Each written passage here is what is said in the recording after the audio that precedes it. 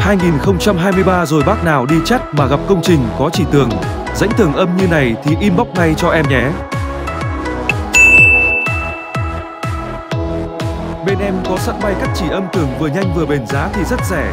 Mua một lần dùng cả đời không hỏng. Cắt chỉ nhanh với tốc độ âm thanh, mép chỉ không bị sứt mẻ, không cần làm lại lòng trong rãnh, chỉ cần đặt thước và kéo là xong.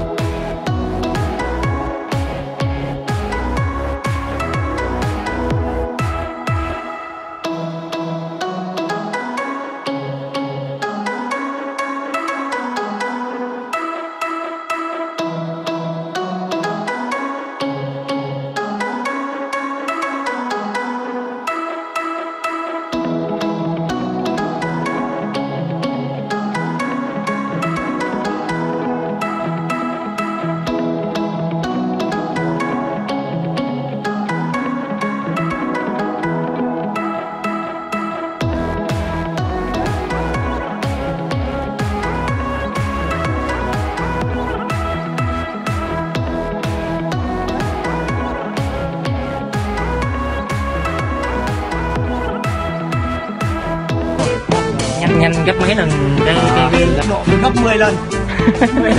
10 20 lần luôn á. 20 lần chứ